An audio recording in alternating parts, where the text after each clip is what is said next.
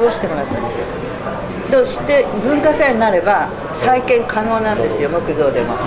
そうそれでその代わり JR からはただで譲ってもらわなきゃいけないのであのその JR の方にも飛んでってで裏の方ではもう専門家に全部鑑定してもらってたんでこれはあの素晴らしいものですからぜひ無無あの無料であの譲渡してくださいっていう約束をしてもらって解体したもうこれねもうこんな離 離れ技でね。でね彼らがなぜそのそこまで抵抗したかっていうとあれがシンボルとして残れば上原の永久政権が続くって本気で言ったんですよ。だから建てさせないって。思い出す。思い出すっていうのよだからね国たちにとっての宝が大事なのか自分たち自分たちのねやっぱり政権を維持するのが大事かっていうとものすごい象徴的な事件だった。で国たちの解体保存をして再建するためにやっぱお金かかるからということである法人が500万寄付してくれたんですよ。これを基金にしてくださいって言って。で基金条例を出したの。それもね全部否決。これはこれあなたがインタビューの議事録かなんかであります。少ねあります。なたばっかり議事録とか見ないとちょ？議事録はあるよ。ねありますあります。あのね当時のまだインターネットねできてないと思う。えっ、とねあれは何年？それからここの今の件とさもう一つあの訴訟を起こしたのは自民党の訴訟。ああの要するにあの地区計画であの地区計画はあ都市計画審議会で通ったんだけどそれを条例化しないと、えー建築基準法とリンクしないので早期条例化を求めるっていう署名が7万集まったんですよ。うちは7万の年ですから元旦から署名活動を始めてだからもうそれは直ちに条例化をするということで都市計画審審議会であの、まあ、それがあの採択された後に一番近い時間で1月31日にあの臨時議会を開いてくださいって言ったら、まあ、議長がね九死に当たらないからダメだって言ってずっと逃げるわけ。3月議会でいいだろうっていうか3月議会になるともう3月最終日になっちゃうんであまりにも間が空きすぎるので臨時議会というバトルがずっとあって結局招集権は市長にあるから私は招集かけたのに議長は認めないって言ったけれどもでみんな応酬してきて全員議員はもちろん来てるのよ。で市民もあの集まって、まあ、満席になったんだけれども議長が議場に入らなかったんですよで議長が議場に入らないから開会宣言できなくってあのそれで最終的にはもう5時ギリギリになった時に 与党の議員が仮議長を立てて議長副議長あの、えー、と事故ある時とみなし仮議長を立てて臨時議会開会するんです。で結局出席者全員でねあの賛成するんだけどその時に議会っていうのは議事録を作らないと議会の開会と認められないんですそれとね。だから速記者と職員をね全部ね議長がねとどめさせて入れさせないんですよ中に議場の中に。だから記録を作れないからそうよ。で記録を作れないから市役所中のテープレコーダー私たち全員持ち出してテープに含みながら議事録作ったんです。そしたら終わった後に自民党が自分たちのそのなんていうの議事権を侵害されたって言って裁判を起こしたのバカでしょ。それで結局裁判はねそれあんたたちが入らなかっただけでしょって言って自民党負けるんだけれどもそういうバトルもあったんです。時効が払った。この2つ。その裁判とあの駅舎の問題おもし理解論でこの損害賠償と関係どう議論したらいいんですか？これは難しいんですよね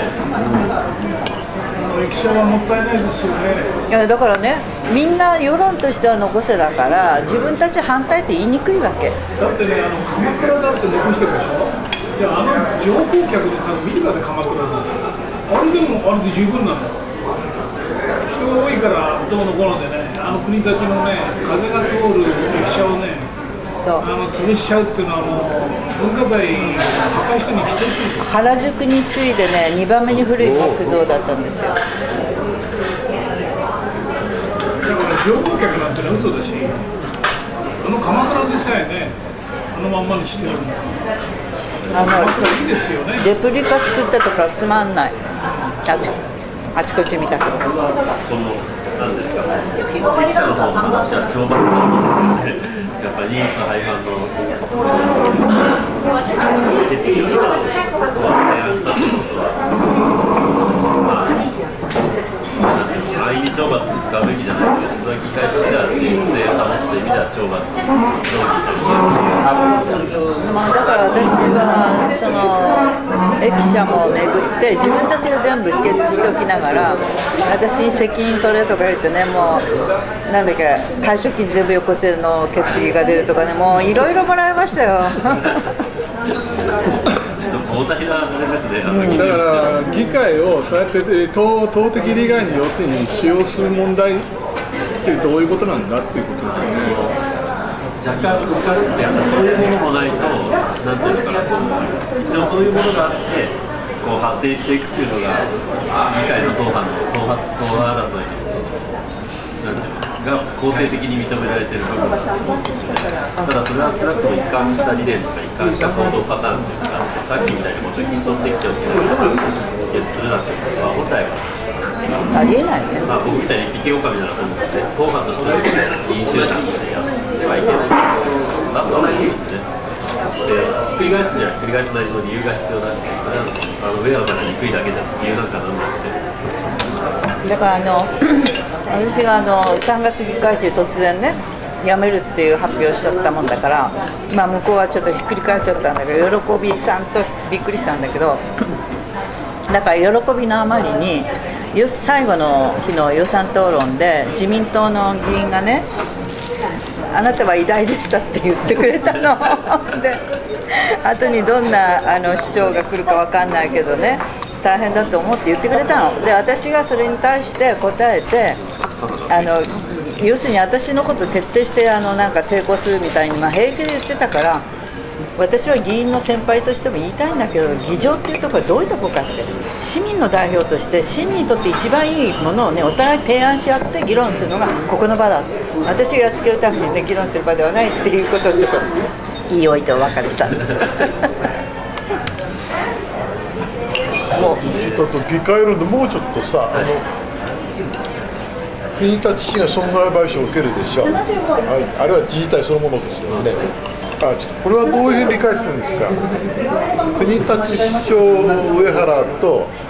国の、えし要するに何だか機関都市の上原2つあるじゃないですか。最初ね2つ出されてたのがか難しいんですでもやっぱり個人は認められなくて市長上原っていう最終的な裁判所もそういうくくりになってるんですよですかあの自治体の代表者としての上原高校とだからこれ国立市そのもの。だから市長上原も2つ訴えられてるんですよね最初はねあれはどういう議論なんですかでも公開者の成功ですよね。いやいやいやいやこの他にもう一つ個人があるんですよもちろん。あれはね市長市長個人を訴えるときに現役だから市長個人手放す多分個人としても市長って名前ついてるから個人上原弘子個人機関としての要するに行政としての上原だけでなくて個人っていうのを次考えてたんでしょうね。あれは途中で消えちゃうんですか？消えるんですよ。やっぱり認められなかったんですよね。でその線じゃそれそれそうにして自治体として要するに上原国立市の不法行為があってあれ全部議場で話したとか議議決したとかなっていてですよね。だから個人として全く不利じゃないんです。そう正確だと。その時にだからこの、ま、なんか相方で損害発生したらさ発生したと言ってんだけど議会も責任を負うべきじゃないかと思うんだけどそこはどういう議論になるんですか？なんかあの、その話で昨日もちょっと話したんだけど、実際の臨時職員の給料がよく訴訟で関西なんかで訴えられて、その損害賠償の話なんかでいくと、やっぱそこは議会も一定連帯感を持って、あの債権放棄の決議をするわけですよね。自分たちもこうなんていうのかな。行政職員のボーナスをあの法に合ってるのか合ってないのか見落として認めちゃ予算認めちゃったということで。だからそこはそういうふうに普通はなるんだけれど、ちょっとそこみたいにこう与野党がこうなってるところだと、さっきの話じゃないけど、そう筋論じゃなくて、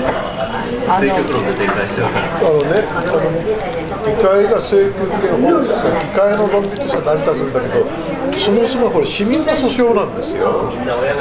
市民が行政のあるいは個人の訴訟住民訴訟でしょ？その時に議会がこの請求って放棄する議会としては筋取って市民から見ると全く理不尽なんですよこれはどう答えますかあだけどその訴訟の定義なんて言うんでしょうねどのぐらいのそのなんていうかその違法性とかねあるいはそのなんていうか本人にとっての損害とか本人にとっての損害があればもちろんそれは訴訟の結果の方が優先されるべきだと思いますそれからあとあの違法性ですよね判断がこう法解釈の判断が揺れてるものなのかカチンと固まっちゃってるものなのか計画のこういうのまだちょっとぐらついてる問題じゃないですかそういうところに関してい。やでも政治家が責められない多い方ですからだけどその責任が負わせられるのかどうなのかこっちを負わされてるしそもそも国立市自体を確定しちゃってるんですよ。国立あのだからね国立の場合にはその景観についてはね国立市民にとっての景観は揺らいでなかった、うまあもちろんそうです。ん、その司法判断をが確定してないとかその学問的にまだ日本の中では確定してないのがあっても国立市民にとってはねここの景観っていうのは揺るぎないと思ってたわけだからだからこれがやっぱり地方自治の基本なんですよ本当言うとまちづくりの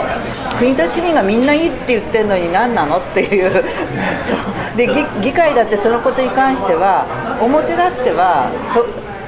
妨害はできなかったわけですよ結局。みんなを賛成するわけだから。でちゃんと、まあ、せ政治生命かけてやれまで言われるんだから私はね、うん、だからそのやっぱり頑張ってくるんだけれども実は裏で表で言えない 裏でのその引っ張りっていうのは、うん、いろいろあって議会のこう質問なんか聞いてるとそれをやっぱり裁判に使うつもりで質問してるなっていうのがいくつもあるんですよ。だから一度私これ危ないと思ったんで止めてあの控訴の時から控訴する時の臨時議会で自民党がもう変な細かい質問するの。だからねそれは今言っちゃやばい話でしょっていうので議長に止めてくれって言って議長の応接室行ったらメアマンションのその法制担当の水野っていうのが座っててちゃんとこう聞きながら判決文読みながら座ってたから大騒ぎになって私がもう大騒ぎしたのね。ここになんでいるのよってあのおかしいじゃないのって今その裁判をねやるかどうかの最中の時になんでその議長の部屋にいるんだっていうので大騒ぎして来てとかみんな言ってみんな市民もどっと来てそれであのもうカンカンに怒っちゃったおおかしいじゃないかなんか裏があるのかみたいなね。言えないけど。結託してたんだろうみたいなのがあって。で議会は上告だ上告の時に否決しちゃったんだけれども怒った市民がじゃあ補助参加人だったから私たちで上告しますになったんですよ実を言うとだから市に代わってね市民が上告をするってないですよこんな例はね。普通は行政を訴える側だから。議会で否決したなら市民でやってやるっていうような例はないと思うんです。よ地方府県のね、もうちょっと徹底してればそういう話になるんだと思うんですけど、まあ残念ながらそうじゃないから、だから国と市民はやっぱすごすごいでしょ？すごいと思う。あの平方市のさっきの臨床的な一時金の裁判、最高裁の時に、法解釈が揺れてるところで、あの、なんていうのかな、市長の程度の軽い過失だという位置づけで、賠償責任、最後ははいは最高裁で、い債権放棄ね。債権放棄というか、認めたんで。す債権放棄というか、あのそれ以前の損害賠償すら認めなかった。あそうなんだ。えーそれはいいんだってそこまでは。そこまでは裁判所のあれだからさ問題はだよここここに絞りましたよ。だから要するに地区計画によって損害を受けたって言ってるわけですよ地区計画は彼女がやったんじゃないんですよ。住民がやって、えー、と経営支援も認めてでそれを議案として提案して議会が認めてる結果的にはそれがネックになって、えー立てられる違法ですか的確になってるわけですその時に相手方は全体として損害を受けたと言った時に議決をした議会はどういう責任なのかという時にもう解釈が揺れてるとかなんとかだけじゃ全然何の話にもなんないでしょだからに日本のねあの例えば2分の1だと私は思います。かあの議決権は議決権は議会なんですよ。主張は提案権しかない執行権と提案権しかないんだから議決権は議会にあるとしたら議会が責任を負わないのおかしいの本来何にも負わないんだよ今。どっちなんだろうっていうのちょっと僕の中でも悩んでて日常の行政とか考えるとそれはその通り。ここはちょっと新規事項を打ち出さないとよ。この本の価値がないし逆にそれを書くことによってこの本の価値も上がるんです。よあのやっぱりけちょっと考えるところがあって市の代表っていうことでの市長ということで変な話訴えられてる部分オーバーラップしてるので市長という職務と責任とそれから市の代表者としての責任と機関の代表者というとそのものがなんていうのポスト市長その2つが訴えられていてあのねあの実際今訴えられてるのはね市長個人です。そうですよね、えーあだから国売法で本当はもう払ってるわけでしょ？それを市長個人になっちゃってるわけだから。で、その急騰の先がじゃあ市長がなきゃあかんってことになるかと思うんですよね。あの根元裁判ではいや本当はあの時にはね市長らになってるんですよ。だから補助参加人も含めてそれからあの期間決定してるわけだから職員も含めてあのらになってるはずなのにあの損害賠償については根元判決でもその何も問うてないのね。他の人たちのことは全部私にもう集約しちゃってるわけ。だからそれもなんかすごいごまかしがある。あの全部期間決定をしてるわけだから、うん、であの、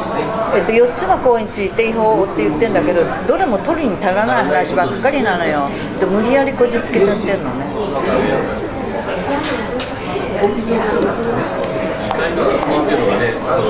なんていうんだろう、あの別に地方議会だけ国会と関係ないって言ったらそれまでだけど、あの具体の特権を始めての、なんていうのあの議員は自由に議論するのを罰せられないっていう。それは国会の中ではね、うんでも議決権と発言とは別だから。それは発言のことであって議決権はやっぱり議決権だから責任重いわけよ。で発言だけど行為だって国家開催中は問責行為ね。だからそれ聞かれない。だからその決定私が言いたいのは決定権の問題なのね。決定権を持ってるっていうのは最大の本当は責任があるはずなのに結局夕張なんかもなんであの転んだのっていう破綻したのって言ったらみんな議会がジャブジャブとねおかしなものだってみんなあの賛成したからでしょ？歯止めかけられなかったんだから。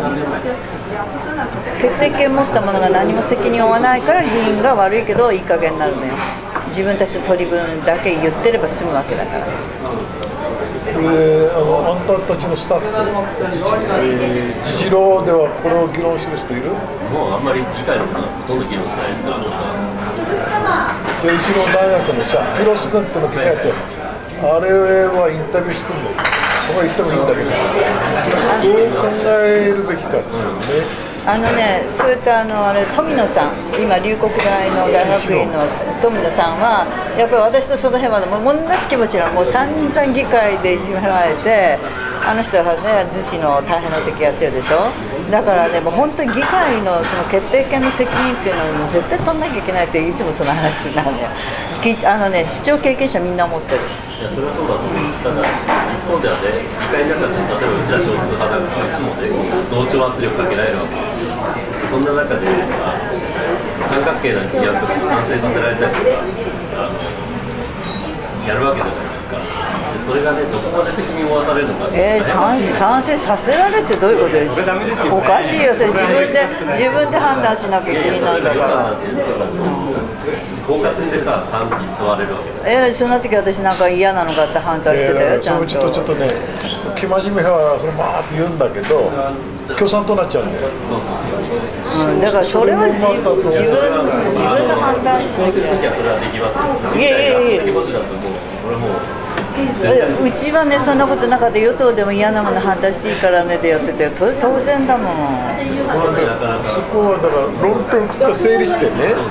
少し広瀬君なども議論していただいてだ僕も一緒に行ってもいいんだけど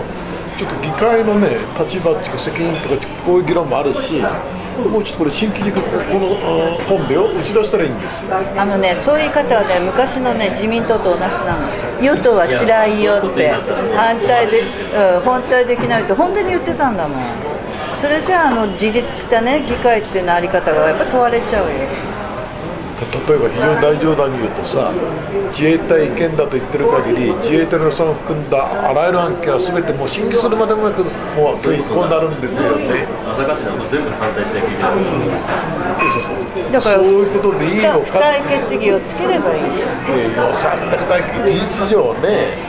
だからまあそういうことも含めてね社民党なんだ社民党違う違う違う。あれですよ黒川さんがほら政治技術としてねその議会対策なんかでそういうのねあのその論法を取るのは私はまあ払えばいいと思う。んですただあの一方で上原さんが言っているようにあの一番元の自分の根幹に関わるものをどこにもどこに持っていくのかっていうのはあるある程度明らかになってないと。いやいやだからあえてその圧力にさらされてるからっていうだけだと。いやそのすぐに反対できるのは全然問題ないしただ問題は反対した人間まで巻き込まれるのかどうなのかっていうこともあるわけ決定権の中にそこが難しい議会の予算が足りなかったんじゃない。かとだからだからそれはでもね要求されることなのある意味ではね。ぎあのし説明責任っていうでしょ？やっぱ反対したやつは免罪してくんないと困るよねそ最低限そこはそうだうん、だからどのぐらい努力をしたかっていうのはやっぱ問われるのよ。説明責任っていうのは行政だけに言われるんじゃなくてあのアメリカなんか当然なんだけれども議員がどのぐらい市民にねきちんと説明責任を果たすかっていうね自分だけ勝手にこう本当は反対したんだけどじゃなくってきちんと市民に対して私はこういう立場取取れないってはっきり言った上でね反対すればそれ市民にちゃんと報告しなきゃいけないわけだしアピールしなきゃいけないわけだから。ちょっとな議会地の法人格持ってるのかそれも今議論になってますよね。どどこを訴えるの？バラバラにして訴えるの？それとも国立市議会議長を訴えればいいのかどそううなんですよそうなんです。よ議長を訴えるのか議議会総体を訴えるのか。いや議会総体って議長議長議長のことですよ。違う。の議会総体って議長じゃないちょっと待って。議長もうその上でも無責任な存在あの意味意味がない。要するに司会してるだけなんですよ。一票入れたら別ですよ議会議長っていうのは一票入れてないんですよ基本的に司会をしてるだけなんですよ。それも全てのことについて責任取れ言われてもさ困っちまうともあるわけですよね。あ五分五分だったら別です。よ別なんで議会時間なんだなんかそういうところもあってじゃあど誰にどういうふうに最終的に責任を負わせるんですかっていう展開になってるわけです。よその議論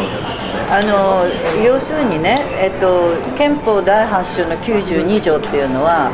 地方自治の、ね、組織及び運営に関しては地方自治の本心に基づきこれを法で定めるってなってるでしょ？だから組織とか運営についての決定権はやっぱり議会なのよだからある意味で行政と議会って対等な力を持ってるんだよね議長も。だって地方自治の本心に基づきって誰が体現していくのって議会の議員たちがみんなそれを聴取してきて市長はそれに基づいて提案して議会で決定するわけだから。ちょっと政治的なこう演説は別にして仮に今回のあなたの事件で言うとねこちらの方で、えー議会の責任があるとこう仮に主張を立てた時に政治的な話ね法的にどう構成するかなんです。議会中の時に国立市議会と一つのね法人格があってここれを言うのかねあるいは議員個人個人を言うのかあるいはそれによって反対した議員と賛成した議員を分けて賛成した議員だけを言うのかってこういう話だよね。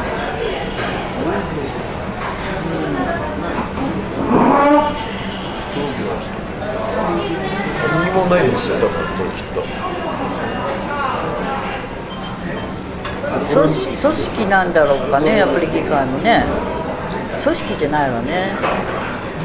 組織でいくと24等分でこうなんか20定数が24から24で。組織じゃないもんね。ちょっとやっぱ特殊な形態ですからね。だからそういう意味ではまあ一人一人を訴える話になるんでしょうかねただ今回なかなか難しいのは逆に言うと地区計画賛成した議員がみんな賛賛成した議員だけってなると逮捕対象になるわけじゃないですかそうするとじゃあこんなもん賛成しなきゃよかったって議論になっちゃって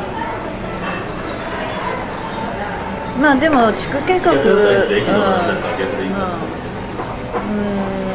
うん。いやだからあの地区計画そうね地区計画も第二行為かなんか入ってましたもんねあれおかしいよね。本当に。そうなんです議会の責任を忘れるとなんかいろんな意味で理屈がすごく難しくなってでも決定に関わったのは議会だけじゃないからね。都市計画審議会もそうだしその部長会でも認めてるしみたいないくつもいくつもあの審議会はある。でそれみんな合意してるわけだから相当な人数だよね。えー審議会なんかも大きいと思うんで議会が結局さ審議会なんか通ってると都市系の議員なんかほとんど反対しませんからそういやだから無無責任だよねだからねで専門だしね、まあ、じゃあ議員がもっと責任ないかっていうのはそんなことはないけど責任を負わせるとなんか具体的にどういうふうにやるかっていうところでなんか結論出さなくてもさどういう論点があるかということだけは出せるんでしょまずねいやこれさあのちょっとあなたのところで、えー、バーったら広瀬君のあの行ってね、えーあのアドバイスに行ってバーったら僕も一緒に行きますのでどういう論点があるかってことをあぶり出してくれますよねそっか今日はあのせっかくだからもう図書館に行って議事録見た方がいいね。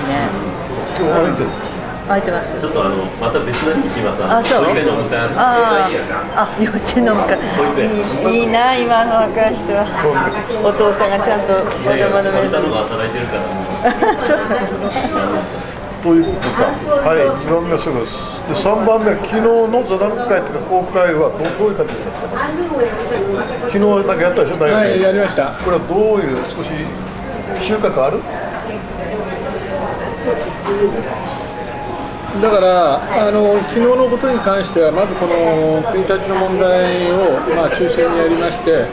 あのまあ、だから訴訟が現実に起こってるってことであってそれをどういう論点で持っていけばいいいいのかって話になったんですよ。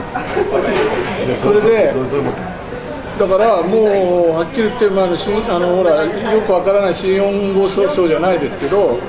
あのそういうテクニカルな部分というよりも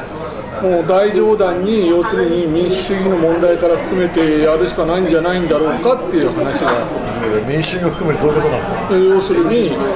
先ほど従来ずっと言ってた話の延長線上で民主主義とは何かなぜこの人が訴えられているのかっていうところから、まあ、構成していくしかないんじゃないんだろうかっていう話が。で民主主義によるとどういう構成になるんですか要するに自治でしょ？市民？要するにあの単なる民主主義じゃなくて市民自治のあり方でしょ？結局は。要するに。あり方じゃなく具体的にどういうふうに構成したいそうすれば何かが変わって見えるなるわけですか？要するに問題の感想はさそれは民主主義の問題だし権力の問題裁判の問題警官の問題なん問題はみんな分かってるんですよ。でというここまで来た上でその座談会で何を問題どうすればどう変わるってことを聞きました。かってそうなると読む人がつまんないでしょだって君たちは警官の問題の警官が分かってるんだから。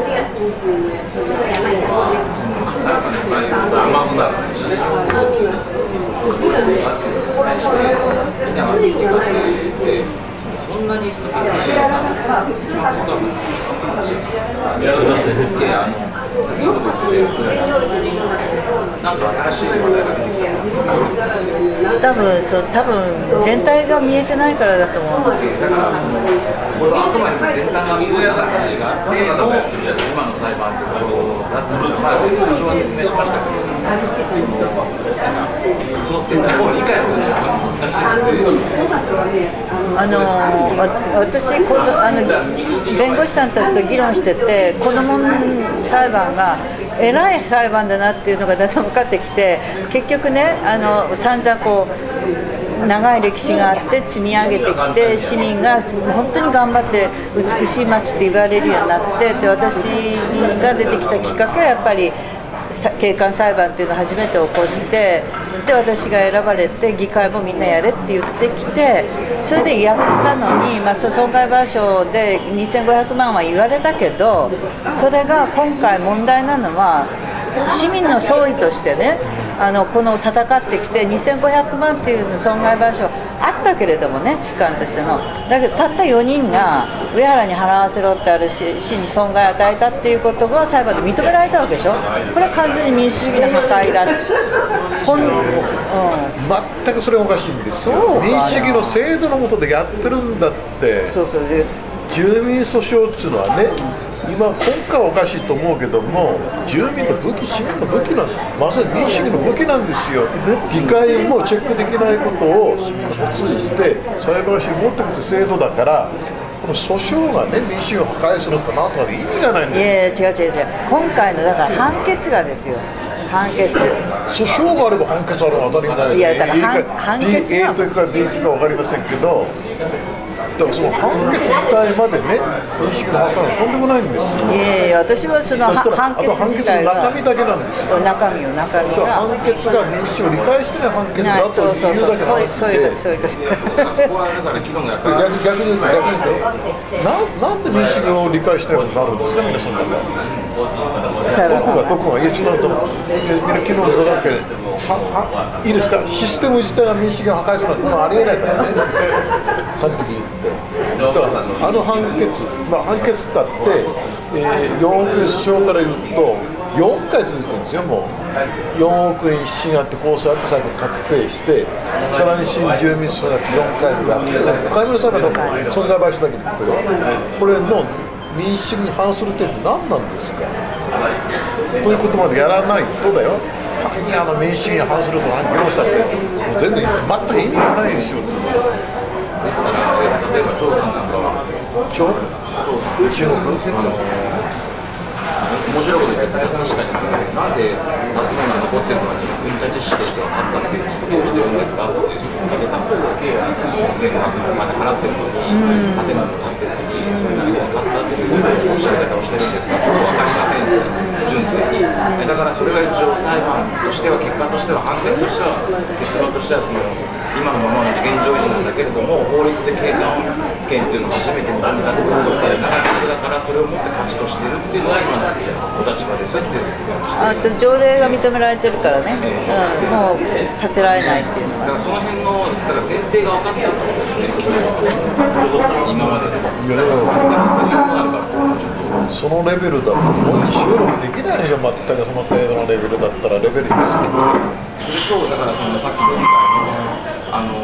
議会請求権が低い議会であの議決して請求権がひっくり返るかどうかの話を。あの春の、えっと3月末に最高裁の判明が出るんですよで出た出たで私も調べた。んですはいそれで調べましたら結局高裁に一つ戻すのが一つとそれからあとはそれぞれ場合にことと場合によるっていうのが結論で要は最高裁も決めかねてると決めかねてるとかことと場合をちゃんと調べないとわからないということが結論になってるのでそれがじゃあ国たちの場合どういう実現になってくるのかっていうのは実は誰もよくわからないと。思われるんですけれども。いやいやもうそれはどうなんですかねいや国たちでは請求権放棄がありえないんですよ議会構成上だから前提がそれに狂ってるんです一般のするのはいいんだけど要するに国立市議会でもう一度上原高校に請求するなんていうことは請求するなってことは議会はないんだよ。一人負けてるもう一つ言えばよもう一つ言えばあの前の事件の時はあれだけども確定してるんですよ。ね、確定判決物で今執行してるんです。これもいわゆるあのなんていうかな議会にひっくり返すようなことが難しいんですよもう一つ政治的に難しい要するに義務付け訴訟なんですよねあの国立市は訴えざるを得ないんですよ端的に言うと私が必要だと訴えざるを得ないんですよだからその時にさまた議会で放棄できるかって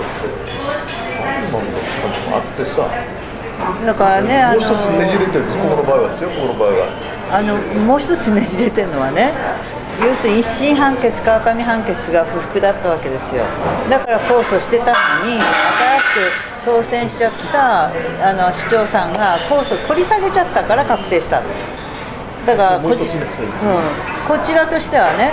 不服だからそのまま続けてもらえれば本当の意味の結果が出たのに取り下げちゃったから確定したとんでもない判決がっていう思いがあるわけだから。だから私は補助参加人だったけれどもこれはあのこちらが反論してもいいというね話になったんですよ。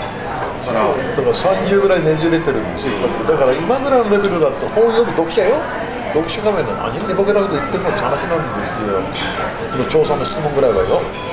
本当だったらあの取り下げをしなければね確定すれば私は補助参加人だから国立市が受けた判決をそのまま法的あの拘束力を受けちゃってあの訴えられないんですよ本当言うと。だけど意に反して取り下げ取り下げられちゃったからあの反論してもいいっていう。そこに至るまでも結構大変でしたよ。こう相当怪しいんだけど、まあ、あんまり言うと、まあ、俺自殺したくなるからやめててほとんど勝ち目のない訴訟なんです。要するに規範力はかなり及ぶ訴訟なんですよ。そういう意味で言えばね。あのだからちょっといやいやそれで話ちょっと元に戻りましょう。で要するに皆さんをぜひデビューしてあげたいと思って今日も来てもらってるんだけどだからあの公開座談会をいろいろ発言をね一般的にどう見るかということを乗っけてあげたいんだけどっていうのをページ数にも関係するんですけどね。それでどのくらい収収穫があったかって聞いてるんです。で今聞いた限りではさただのこう野獣馬が遠くから行ってる程度で全然ダメやなって感じなんです。いいですか？裁判制度は民主主義の問題で新4号訴訟は民主主義の後退と言われてるぐらいのものなんですよと。基本的に。ということなんそれは前提にしなきゃさなんでこんな制度あるんですか言われたって。制度できてんだから。それからだから次に民主主義のロジックを使うあるいは自治とかね、えー、ことをやるんであればあの判決の中身が悪いと。いうん。ならそれはそれで意味が分かるんだけどその何て言うかな。単にその民主主義の問題です。と言われたってさ。これほど民主主義やってるとないでしょ裁判。これだけあってさ。大分の貸しと関係してるんです。これを民主主義でないと言われたらどうすればいいんだ？よということなんだ。さらにもって言えばこの裁判だけじゃなく審議会もあれば議会もあればマスコミもあってあらゆるもの公開されてやった結果こうなってるわけです。これ民主主義じゃないと言われたら上原高校片すりが民主主義じゃないんだって同じ議論になっちゃう。ということだからもうちょっと突っ込まないとさ議論にならないでしょあの文教地区闘争から始まってるんですけどね。市民が街を作るっていうところにすごい情熱を傾け始めたのはあのそれはあの実は街づくりっていう言葉は国たちの文教地区闘争を見た一橋の増田史郎先生が論文で初めて書く書きで作られたというぐらい要するに自治の街なんです。街づくりって今私たちが普通に使ってるけどこれ国たちの文教地区闘争から始まってるんですよ。ちょっとそれも科学的な検証をしなきゃダメだよいや私ちゃんとその論文見ました見ました。3回出てくるんですよ3回。本当にそれ渡辺先生が論文書いてますかだから渡辺が間違ってる違う違う違う違う。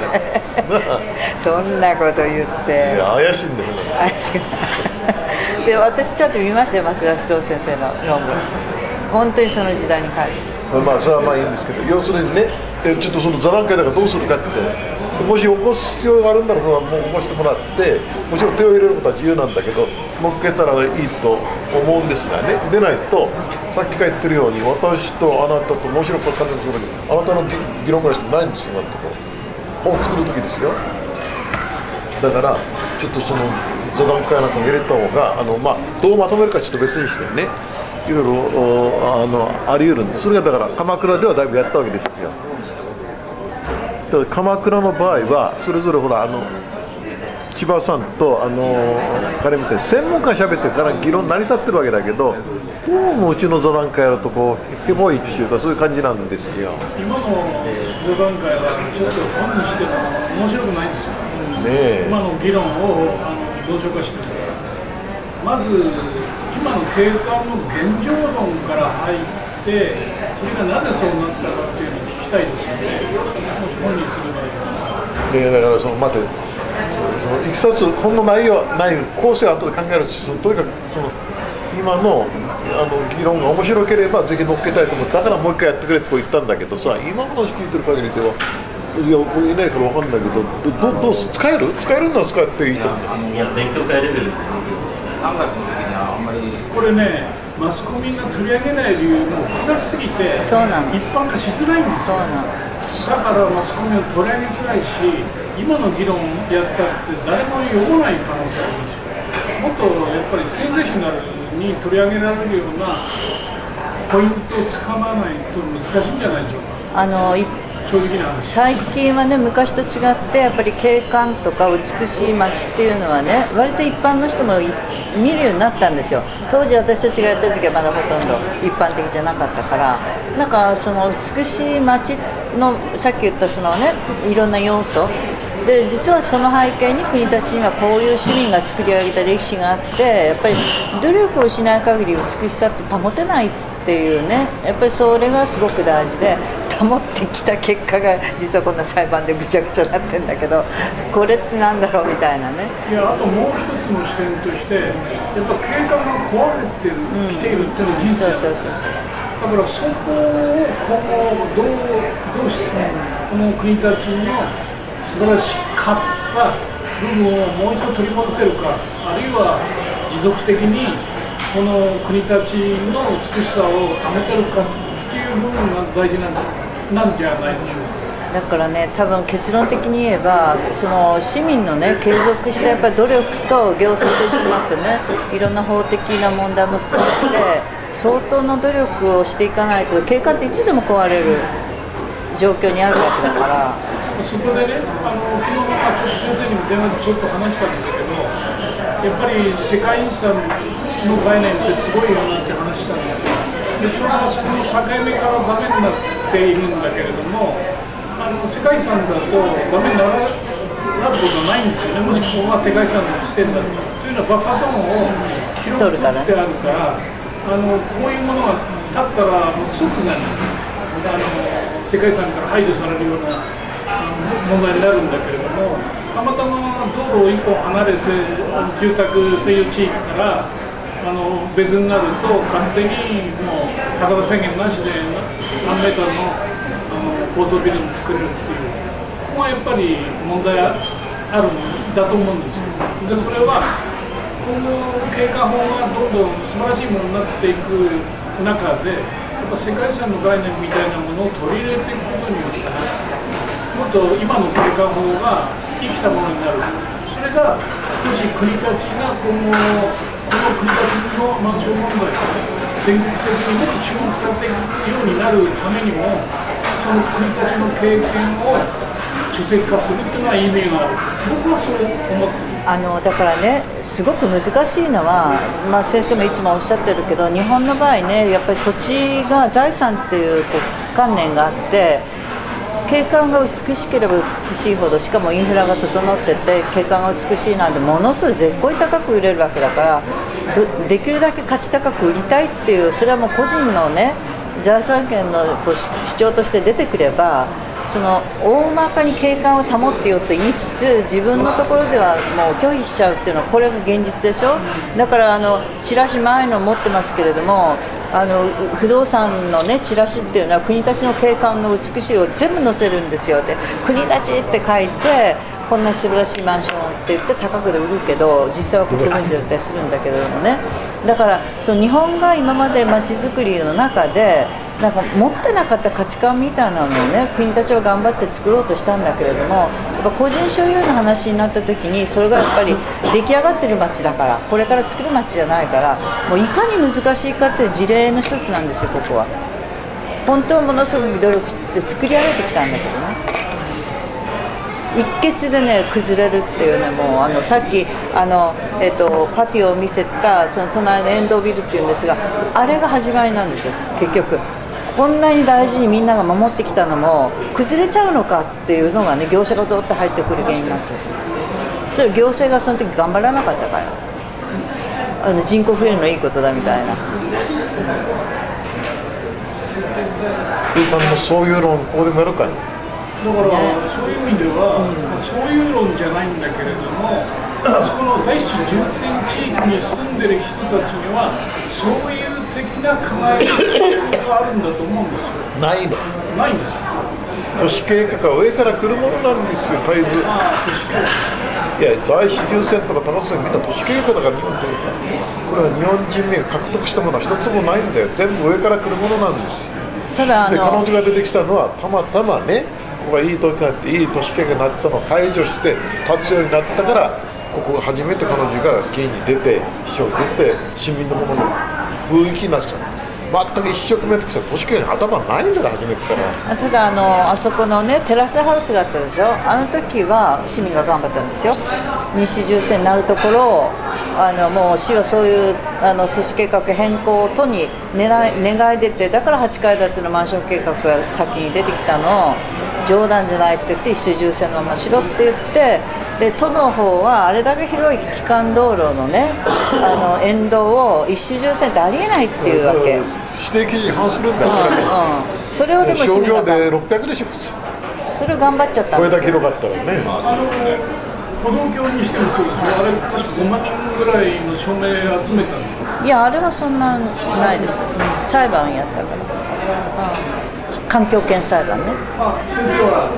そういう的な指導はないと上から常に。都市計画はです都市計画日本の都市計画は大切そうだっつって。ただここは部分的に一番都市計画を市市民のものにしつつあってそれは文教地文教地区闘争っていうのは要するに立川に、えー、ベルギーから一般の宿ができるとか始まってるんです。よ戦後すぐから始まってそうそそこからですよね。だからそれこそあの文教地区指定をするんだけどそれはボトムアップで文教地区指定って初めてですからね。大概はあの行政がここは文教地区って指定するのを市民が戦いながら勝ち取るんだから。もう議会一票差で勝ち取ったのあれは。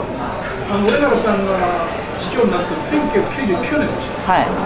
あの時あの文献一括法の。かなり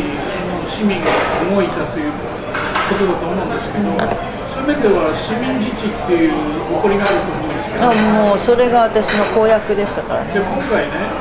市民自治で市民のやっぱり意思を代表して、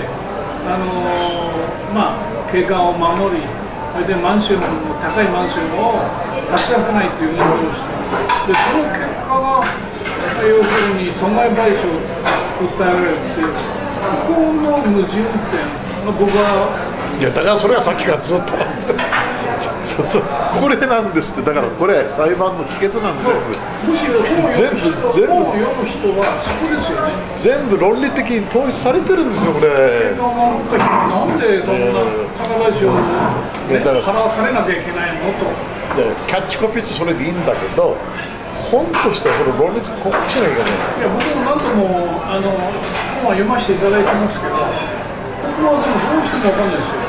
腑に落ちない気持ちとしてね、で要するに景観守るのを守るってことはいいんです。よその結果損害を受けた事業者がこれは放置していいのかということなんです。端的に言って景観を守るのは誠に正しいとこれはいいと。ね。しかしその結果だよ当時合法だった事業者が一転して違法になって損害を受けてるとでこれは誰も払わなくていいのかっていう損害賠償の問最高裁の最最初のあれですか？いやいや、損害賠償なのこの裁判で、で、これは何も、これは最高裁まで言ってるんですよ。で、払うべしであるって言ってる。景観守るのはいいとそ。れが4億円ですよ。そうです。それは地裁それ地裁からまあここが来てるそれはひっくり返ったんですよもうあの3000万円までね、まあいいんだけど、とにかく損害賠償払えってことは一貫してるんですよ。あのでも先生それ違うんですよあのね要するに私がその時に景観あ条例を作らなくてもここ面白いのねいずれ条例ができる場所だと規制は覚悟の上でやっぱりあの業者までやってこなきゃいけなかったんだっていうで私が皆さんにお渡したた上原担当文っていうのは歴史の流れずっと書いてあって内在的性悪説を説いたんですそこで。昔から国たちっていうのは景観にこだわってんだからその高さにもこだわってきたんだからそんなことをご利用ししてやってきたのがおかしいんじゃないかっていう展開をして裁判所は内在的制約っていうねそういうものはないって言ってるにもかかわらずいずれにしてもここはあのこう制約がかかる。規制が条例化される場所であるっていうことででそんなところにやってきた今その保証しろって将来のことは分かんないんだからって言って条例を認めた上でよ 3, 3億5000万分の損害を認めなかったんですよ。でその代わりといって私のその中立性公平性を書いた主張っていうのは全く中立でなければいけないって言ってるわけ裁判えー所がそそこまでとにかくね、ちょっと話ちょっとややこし要するに業者が損害を受けたと主張してるわけです。それは放置していいのかっていうのは損害賠償の議論だと。で放置しちゃいけないというのがこの流れなんです。その時に相手は誰なのかで国立市という自治体ととだよ上原高校地方で分かれてるってことなんだそれは両立してるんです。そこで先生ねあの先生が言うところの名のあの計画利益というものをこの国立ではこの訴訟の中で勝ち得たという考え方にですね景観利益あるいは景観法に通じる概念を勝ち得た。その勝ち得た人がなんで損害を与えたいってこと狙い撃ち。狙い撃ち。こう聞きたか。った狙い撃ちしてるどういうどういう。いやこれが来たからやめていや地区計画作ったんで。まあ後出しじゃんけんというそうそうそうそう。言葉は言われてましたよねだから両立してるんだって何が。で面白いのはね狙い撃ちしてもいいんだっていうあのエミ決定では狙い撃ちしていいんだって言って文ん文脈いろいろ文法までいくといろんなこの裁判も詰まるからあれだけど難しい要するに単純に言えば業者損害しこれは狙い撃ちでやられたと。だから払い要するに濡れはマンション側が狙い撃ちされたっていうことでいいんですか？それで訴えてる訴える側はね。だって地区計画そこだけだもん。でもそこでこの前の先生のあの職業としての政治。いや政治は狙い撃ちするんだって。するもんなんでしょ？はい。だから個人に損害賠償無罪だって言ってるわけですよ。ということは最初の判決自身が問題だっていうことです違う違う。あとわからん要するに景観利益はあるんです。ただ一審から三審に行くに従ってだ。微妙に変動してるんですよ微妙に最初は土地の所有権内在する権利で権利があってだから撤去しようってこういう話なんですって。二審は抽象的には認められるけれども具体的に撤去するほどの権利性まで固まってないで三審も同じ構造になってきてだけど景観何らかの意味で景観利益みたいなのあるなと。いうことはこの判決差し止め請求は全部認めてるんです。そのこととだ狙い撃ちしてうち損害を与えるのは別ですよと。いう論理立ちになってるから何の矛盾もしてない。判決もなんか腑に落ちないな。だからその中身にどこが不条にしないっていろいろあるんだけど大きな枠組みでは狙い撃ちだからだよ。その損害賠償は成り立つってことなんですよ。だから成り成り立つってことですよ。要するに何らかの保護を与えようとしたら片っぽは規制しなきゃいけないわけじゃないですか。だからその保護するために制度を作れば必ず相手方には損害を与える。それは当たり前のことでその本損害の程度をどういうふうに見るかとかねそれはいろいろあるけれどもだからエミ決定の時から条例はね狙い撃ちでいいんだって言ってるんですよ。だから当然守ろうと思ったら。そういう議論もあるしな、そうでない議論もいっぱいあるんだっつってんだそこはいろいろこのねいろいろこうこの判決7つか8つあるうちの適当なこと引き出すがいろいろ山ほどこう議論あるのを知ってるんです。だけど今あのーいろんなことをディテールを抜きにしてはっきりしてることはよ損害賠償は最高裁で確定してるってことなんですよ。そこまでは分かりました、じゃあ何が問題なのねなんで政治家辞めた上原さん。が政治家の時のあの決定あるいはリーダーとしての責任を問われてお金を払わなきゃいけないそん。なの簡単な鈴木大地だって小沢だって悪いことやったら個人になったと言っても個人の責任だからですよ個人の責任じゃないじゃないですかいやだからそう政策だからだからさっきから言ったように個人の責任がどうかで一つの想定はそこですよっつってだから僕は性的責任は無罪だと私はそう言ってるわけですだけども職がある時と個人になった時の関係は一般的には個人まで全部追求できるってことですよ一般の人が知りたいのはそこですよででもみんな訴えられてるんですってなんで個人になってからまで訴えられるんですかいやいやし市長時代の問題をたまたまだから市長だってだよこの子はまだ市長だって訴えられるんですよ当たり前だけど個人としてあの市長で亡くなったから訴えてるんじゃないんですよこれは。市長個人の問題だとだから市長であろうとなかろうと個人の問題なんですよでそういうこと山ほどあるんだって。じゃあ石原さんもでででまあまあそう信号投稿の訴えられる可能性あると。あるってことそうです。それは民主主義なの逆に。住民訴訟っていうのはそういうものなんですよ。要するに議会が決めても決めなくてもだよ市民の税金を違法もしくは不当にした場合には市民がその問題を議会に代わって追及できるというものすごい民主的な制度なんですね。でこれは上原高校だからみんなおかしおかし言うんだけどこれ石原慎太郎と賛成するでしょうが。そう。そう。そう。そう。そう。そう。制度ってのはニュートラルなのってだからやめてから訴えられるのは全然おかしくはないんですよ、それただ、でも政策決定までの過程っていう。のは、民主化されてるはずだし上原さんがその令和マンションを、まあ、狙い撃ちしたかどうかは別にして狙い撃ちしたんだって。そので法律を通さなければ条例を通さなければあの景観を守れないということでそういう政策決定したわけですよもちろんもちろんそうです。で住民の意思がそこにあり議会の意思もそこにありそして条例できた条例なのになんで個人の意思 はいいろいろそれはちゃんと読んでくださいそがあのねだから大筋そこの公式なところは全部無罪だと言ってる裁判所もそのの一連の過程で事実関係別にしてそれ住民の前で例えばよあの目は悪いやつだと言うとかあるいは、えー東京都に対して大執行せよとあの市長の名前で言うとこれは不法行為だとこう言ってるわけですよ。条例を作ること条例を提案することはあの個人の不法行為と言ってないんですよ。で判決はそうなってるんですって。条例のあのな中身には違法性はないし決め方にも問題はないと言った上で2500年。だからそこはもうおかしいです。よ違うところでなんかインタビューにね答えるときにとかそういうことを挙げてなくて。もうなんか些細なことよね。だって損害を与えたから損害賠償なんだから先生だったらねそれって制度的にじゃあ救済されるべきっていう制度それってだから制度的にね救済されるべきっていうことなんですか？だからそうですよ。だってそれは決定正しいとも限らないじゃないですかいろんな。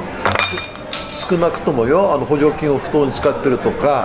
あのゴルフ場を本当は2億円なのに10億円で売っちゃったと買ったとかっていうようなことははですよ。誰から見てもおかしくないのがあってでその議会は追及しないからだから住民の審査請求を出してやってるわけです。そこですよねつまり個人のポケットに入れたと、ね、自分の利利益のために政策決定したりなんかしたと。したらあれなんだけど今回のでででだちょっと上から置いてじゃあ一つ単純なこれ同じ例なんでえええ本当は1億円しかしないものをよ10億円で売ったと。で明らかにこれは自分は高いなと思って売ったと。議会も承認したと。言った時によ市民はどうすればいいんですか？いやこれ証行為としてですよ証行為ですからね。例えばそこに地方自治体が関与しててもこれ割高に例えば売ったと。だけどそれが損害だったかどうかっていうのはその事案一つ一つに違うじゃないですか。みんな違うんですよ。そうです。で一つと裁判所は見てこの場合には明らかに1億円を10億円で売ったと。もちろんいっぱい適正売ってるやつが山ほどあるんですよ。これはダメだと。いうんでそれを市民が追及するのは全然民主的なことでしょ議会がサボってるだけなんだもん。ねいやそこで、まあ、訴訟が起きてお互いに証拠を付け合わせて裁判所が判断するわけです。よもちろんそうです。でそこでねもう一度上原裁判に戻したいんですけどあのまず裁判所は景観とかあるいは景色がいいとか悪い年とかっていうそういう概念を勉強して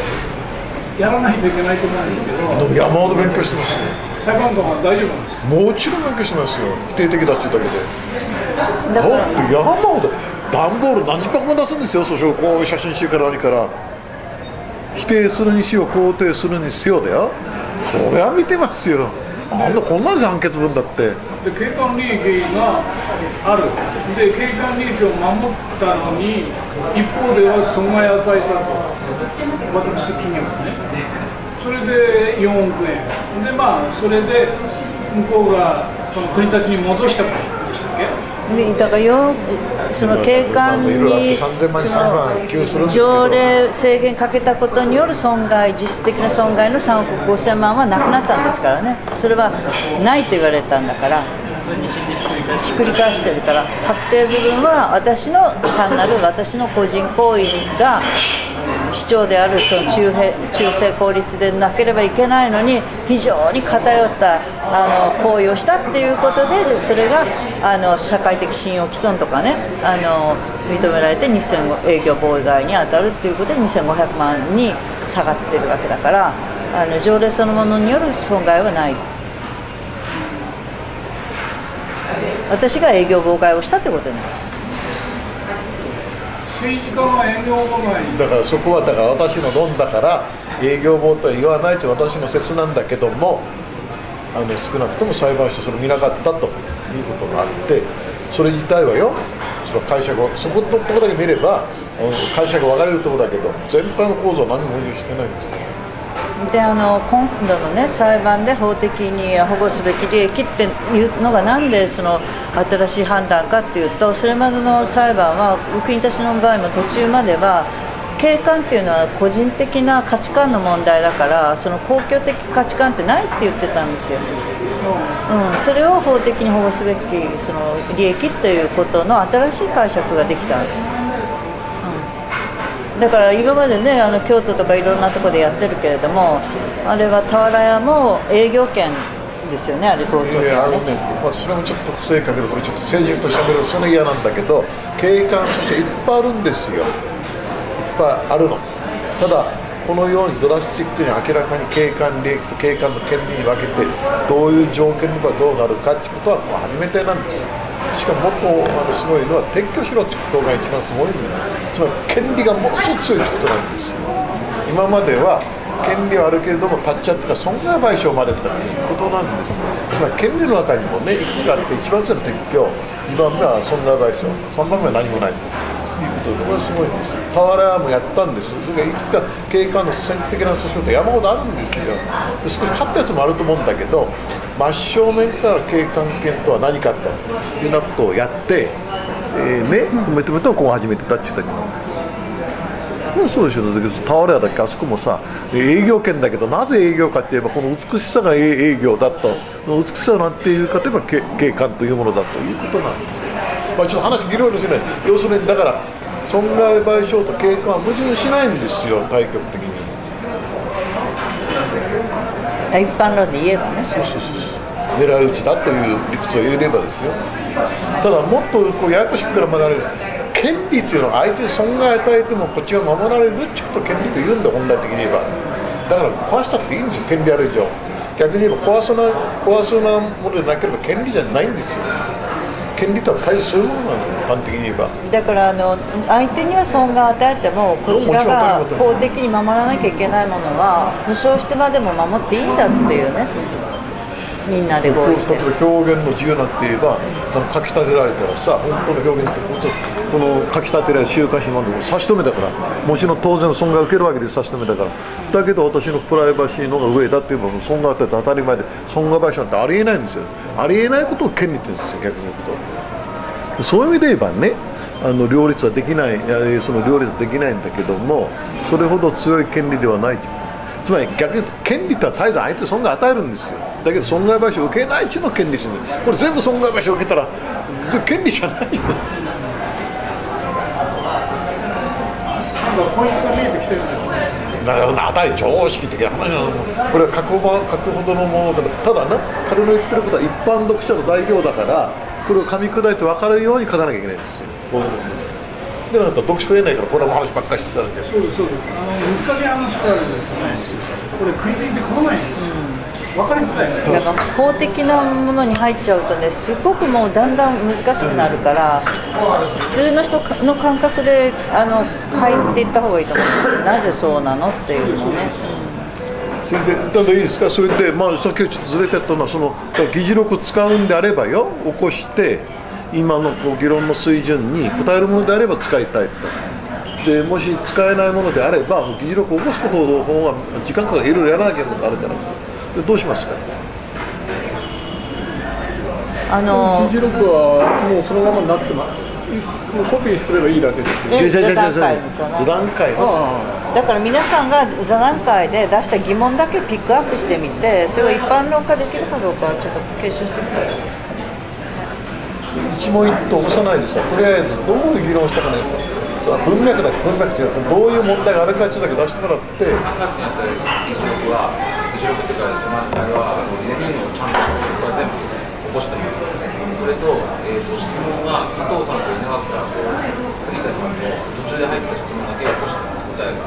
だから要するに、えーとまあ、いいやそれは分かったりしてでここのあれ質問というか、ね、意見主張率みたいになってるんであんまりあの正直なとこもあるんで、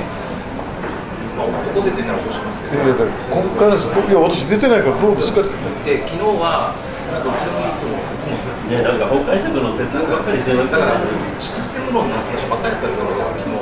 こういう形で裁判になりました、今こういうことでこういうもんですで誰が説明したの？これ。あだからそのなぜみたいなのをねなぜっていうのは出していったら、そこは前提として、あのこういうことがあって、こういうことで今争ってますってことを説明して終わったっていう。今今の今の議論の展開とでじゃあ起こさなくていいですよそれはねそれであと問題はだからその本の話だけどさあのあのねとにかく何ページとかさいくらとかっていうの写真とかさそれから今言ったことの全体のその誰誰がこうするかとかあるじゃないですか。彼はどの辺まで手伝ってくれるのかなって変な話だけど。先生のねこの決裁図等の年表を中心にまとめた方がいいと思いますねまあこれ先生でしょ。その年表に書き足していったらいいと思います。ああ都市計画法の？都市再生を問う先生これがねシンプルで分かりやすいですよ。あの先生が書いてるやつそれまでの流れが分かるしこれに入ってるじゃあその座談会分かりましたそうするとさいくつかのうちまだ。まだ。足りないところもいっぱいあるんだ。けど書き手なんか決めないとねこれがね、見栄えのぱ写真とかそういう部分で、国たちは美しいところだと、なぜ美しいのかっていうような、さっきこう通りながら説明いただいたんですあの部分と写真、現在の写真、やっぱり美しくなくなってきている可能部分がある。から、そのあたりを現状分析でレポートして、渡辺さんがまた写真をいろいろピックアップしてまとめて、それで一つの現状分析みたいな。ところ。小石さんいよいよ本のあの話なんですけど時期が一つ問題でね。私はなるべく早くっていうその裁判極端に言うとね僕は裁僕が裁判官なら5月何日かの裁判でこれ以上もなしということもあり得るんですよ。弁護団何を？え？今度はあ答弁書のはまだ出てないんですか？であのこの前ほら答弁書訴状を出してですね、はいはいでこちらが答弁書を出しそれが4て月27日がさっきおっしゃったいやあの今度は準備書面であの概略しか出してないからあのにあの認めるとか認めないしか出してないから、なぜそうなのかっていうのをあのこんな120ページぐらいのを出しますからそれで向こうがまた反論してくれるいや僕反応しないと。思う理由はこういうことなんですよ非常に細かくテクニックでこれ非常にこう頼りすぎて僕は危険だと思ってるんです。補助参加人が、えー控訴するかどうかの機会がないままに確定したとい。うのがあってだから抗弁できる。こういう理屈なんです。まずまずね、でもねさっきから言ってるように同じことなんですけど事実認定はもう膨らまないんですよほとんど。事実。新しい新証拠とか出てこなくてですね。ある種今までは事実認定の価値判断の問題なんです価値判断ね。それで価値判だけで言うと要するにこちらの方もあるもんだからこちらの方のねこの損害賠償も。で今のジェームスの価値判断があってこの価値判断は証拠調べいらないんですよ。価値判断だからね。だからどんないろいろ書いてあっても事実が違うんであれば承認とかさあの現場検証とかあるんだけど価値判断だけの問題だからっていつでも書けるんですよ。でそのそれが一つです、2番目はこれを覆すってことはですよもうすぐ裁判官にエネルギーがいるわけ。つまりその今の住民訴訟のだ確定した第一審判決を繰り返さなきゃいけないしだ。もっと言えば事実は同じだからこっちの最高裁で確定したものをひっくり返さなきゃいけないわけですよ。極端に言えばね。ああなるほど。そのもうもうもう2つ前のやつ。そうそうそう、そうするとかなりね有力なパンチ力がないとなかなかああれで特に最高裁の判決確定してますからね。それを覆すほどの勇気が裁判官あるかどうかなると僕は一般的にはないと。まあもちろん個別例があるんだけど。そうすると極端にもこれ価値判断の問題だと裁判所判断しますと。もう事実関係ありませんと。上原意見も高校の意見もいっぱい聞いたといろんな人も聞いてあると。言えばそれで次回で終わりの可能性もあると。いうのがまず私の認識なんです、もうもちろん伸びりゃいいことですよ、危険な方向で悪い方ではすごくあり得ると言ってるだけでね、そうすると、非常に大変なことにさ、あのこれでまた控訴ったってほとんどもう聞き身がないぐらいのあれだから、この一審判決どうするか非常に重要で、でやっぱり世論が非常に重要なわけですよ。特にね、今から彼も不審に思ってたようになぜ個人なのかということはやっぱりい。いにしろ悪いにしろさ非常に大きな問題でだから最高裁もああいうものになってるし、ね、でこっちとイベント的に言えば僕のところでこの本間に合えばですよ。個人で訴えられてる主張を全部集めてみてでどう個人っていうのはどう思うかも聞いてみるなんて非常に面白い価値観価値議論のあるところじゃないかと思ってるんです正直言ってね。でそれ待ってるとまた時間がかかるもんだからとりあえずこれ先行しようということで北村さんにも頼んだということになってるんですよ。それで、まあ、一つはね、あのーまあ、時期がだから、私はできるだけは9月になると、ちょっともうお手上げだとまあ、こうどっちにしても早い方がいいことは間違いないそうそうそう。それってあの訴えられて実際始まってからなるべく早い方がいいのはそれはもうそれが一つです、で2番目はと体裁をね少し警官だからこの文字裁判所の判決を並ぶとなかなか難しいので少しさっきから言ったカラーのねバーンとカラーを入れて、なぜこれを守らなきゃいけないかということを、並木通りじゃなくて仮にさっき言ったもので、子供の風景だとかねおじいさんのなんとかとか、デートの場面だとかお菓子屋さんだとかといろいろこうやるというのが2番目。で3番目はあのー暑さとね厚さ、まあ、200ページなのか100ページなのか300ページなのかそうそうそう。それは値段の問題なんです。この辺はどうだろうかという感じなんですそれで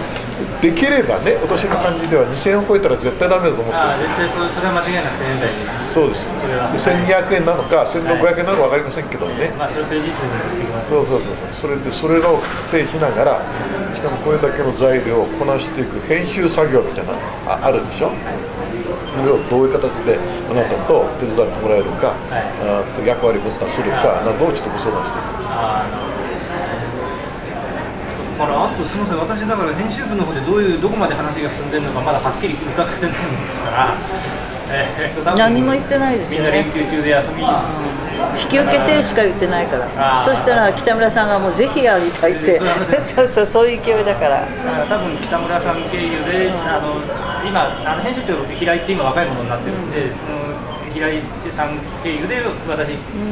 に来たんだと思うんですでそれをちょっとね連休明けにでもはい「週刊金曜日」の編集部とね一応ば場合あったらいろいろさ取りまとめもいろいろしてもらうと私もありがたいんだけど。だから一般論で言えばあのカラーを使えば使うだけああの値段も高くなるしあの時間もかかります。それは間違いないです。やっぱ全部からじゃなくて最初の方だけでもいいですよね。扉だけでいい？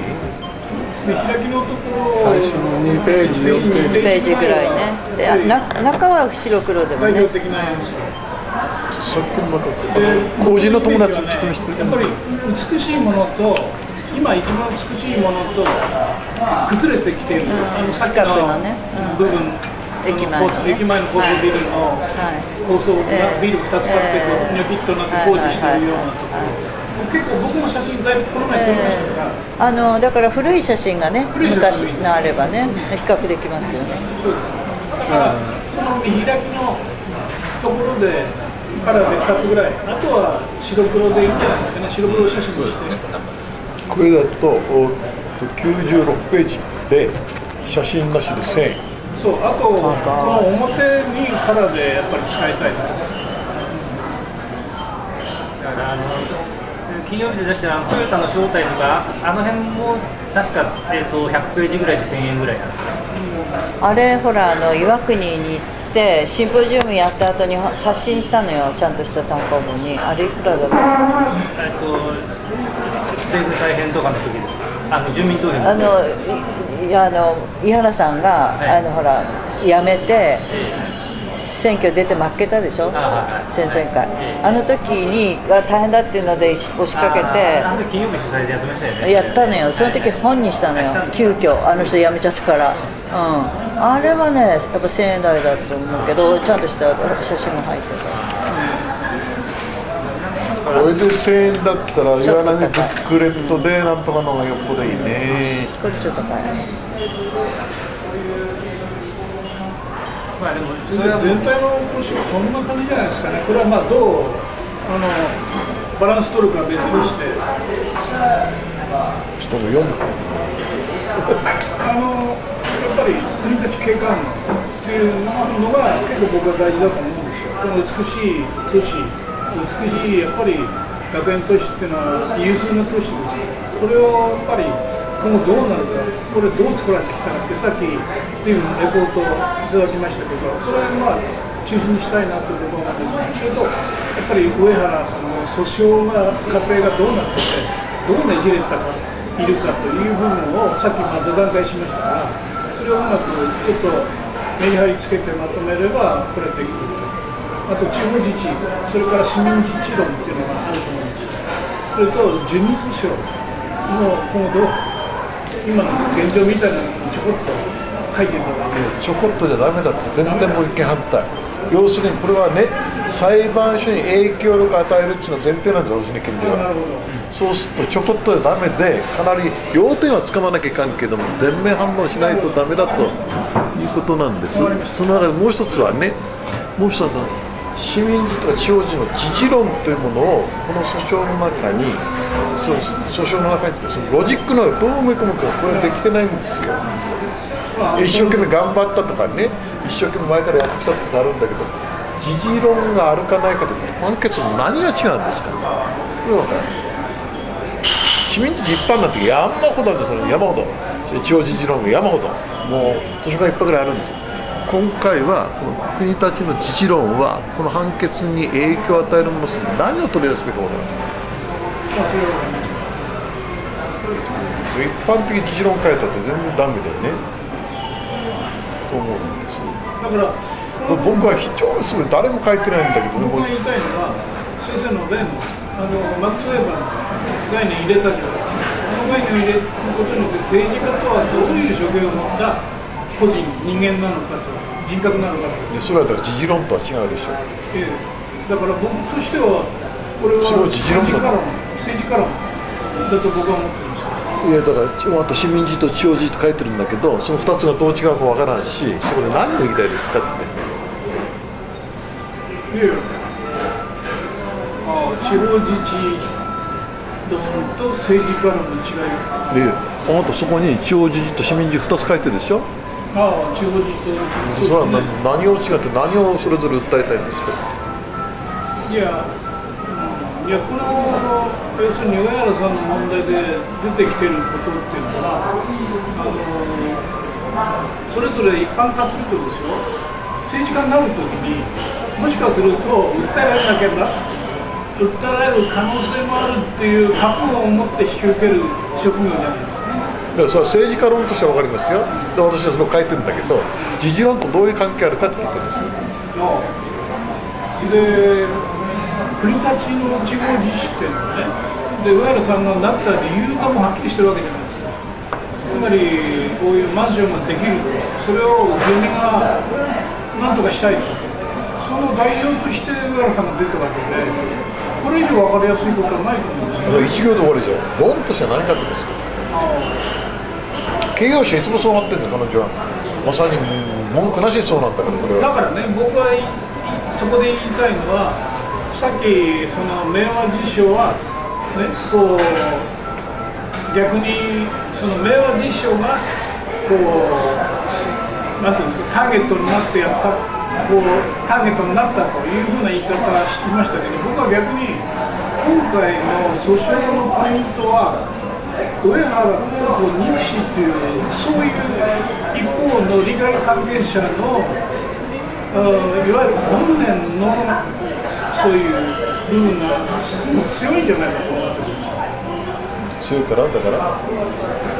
だからそれが変だなっていう。変じゃないですよ全然。明和寺生涯に立ったらいじめられると思ったら憎しなのこの子憎いんですよ。だから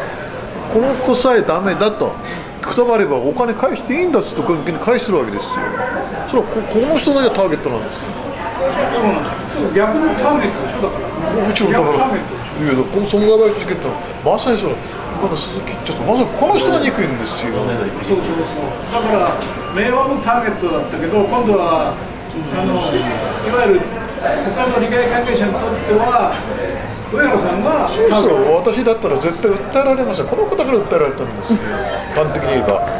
だからそういう意味で言えば恨み怨念つらみなんですよ。それはそうなんです。そこはちゃんと本に書いた方がいいいや買わないちょっと裁判官が相手だって言ってるじゃないですか。今私はその鈴木何がして喧嘩してるわけで迷惑面会してるわけないんです。今の訴訟は。裁判所の判断が間違ってるということをロジック的に説明しだそれを世論のその幅広いかあのなんていうかある意味で勝ち取らなきゃいけないんですよ。でそれはまあ翻って言えば石原慎太郎を救うことになるし橋本を救うことになるんですよ。それが政治だってことなんです。橋本倒し方は政治で選挙で倒せってことなんです。よ損害賠償ダメだって言ってそういう思想なんですよ私の場合。単にこう市民自治論とか地方自治論言ったってさそのレベルじゃこれだけの複雑な選定数何も出てこないだろうでもっと逆に自治論を強化するとこの判決のどこがどのように崩れるんですか。まさしく自民知事をやってるんですよその鈴木だって。あれ見たら名誉だそうなんですよ。ただ先生ちょっと一つあのあのあのちょっと時系列をちょっと知りたいんですけどまずこの方は訴えられたわけじゃないですか。それで結局こいつが悪党であるでっていうんでその3つ妨害いろいろやったっていうのがああったじゃないですか。それでただこの方はあのそれをやる前にいわば市民の請願とか全部署名とか全部受けて受けてるんですよね先に。そうですよね。じゃあ結局はあのーそれを頼んだ市民署名という形で頼んだわけじゃないですかこのこの方に。じゃあその方たちの行為はどうなるんですか？また誠に正当だし何の判決に関係ないの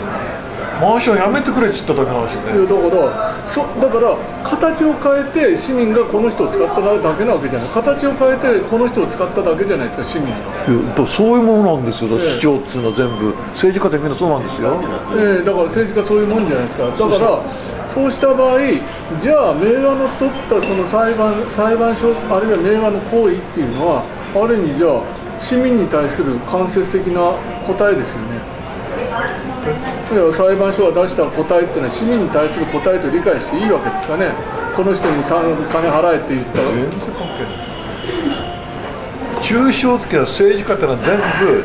小泉もそうだし橋本もそうだし石原慎太郎もそうだ私だってみんなこ市民の信託を受けてるんですよ、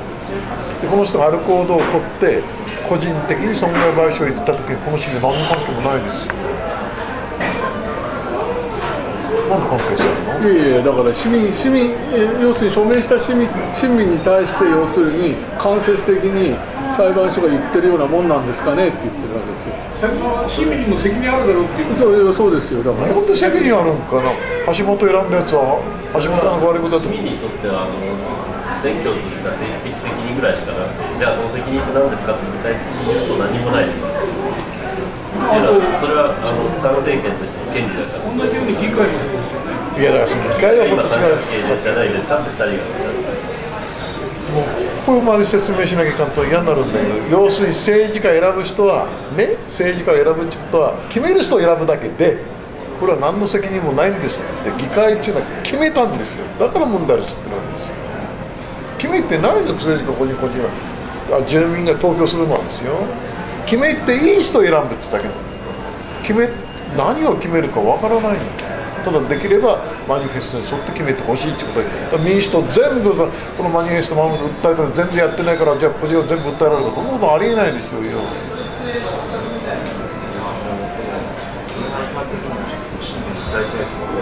ええ？市民を？なんで？それは全然ないでしょだっていやああ一緒にやった市民のこと言ってんの？まあ一生も含めてあんだけあんだけあ応援した？あのいや私はその健康を守るために市長にさせてもらったわけだからやるのが当たり前で。だからあの市民はそれにすごい期待してるから頑張ったわけだから。それがまああとどうなってもうそれは私は約束で市長っていう権限をいただいたんだからそれは当然でしょう。構図から言うとはしごを外されたような気持ちにもななってもおかしくないね。いや木に登らされて。いやだってあの裁判をねあの裁判であの条例が有効になってあの景観利益生み出したのは私の力じゃないですもん。やっぱ市民が頑張ったからだ。もんの人はみんな手のひらひっくり返して明和側に行ったわけでもないなんでもないからそういうことだったんですよ。あのね、この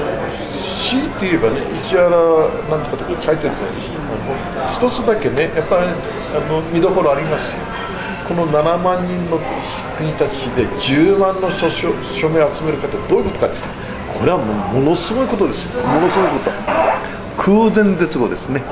空前絶後、一件一件個別訪問して、全部書かせても10万にはならないんです。で外からもちろん国立地域で該当するんでしょうけどそれにしてもだよ。3回出してるんです。5万7万11万。かなんかそんな